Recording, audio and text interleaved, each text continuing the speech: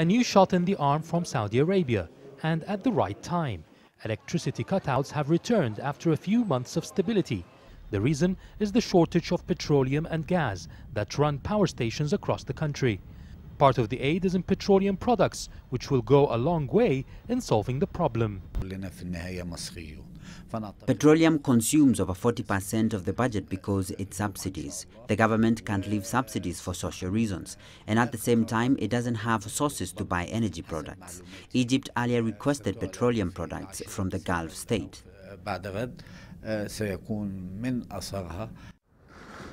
The new batch follows around $12 billion offered by Saudi Arabia, Kuwait and the Emirates after the ouster of former President Mohamed Morsi last July.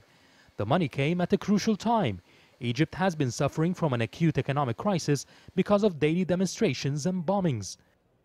Tourism, the main source of hard currency, dropped by over 50% in the third quarter of 2013. Foreign investors shied away due to security concerns, while foreign reserves dropped from $36 billion to $13 billion by July. Now it stands at 17 billion. Egypt's Prime Minister Hazem Beblawi will be in Saudi Arabia on Tuesday to finalize the details of the aid package. The flow of Gulf money is also related to al-Sisi's rise to power and the ouster of former President Morsi. Experts say more Gulf money will come Egypt's way if al-Sisi becomes president. Yasser Hakim for CCTV, Cairo.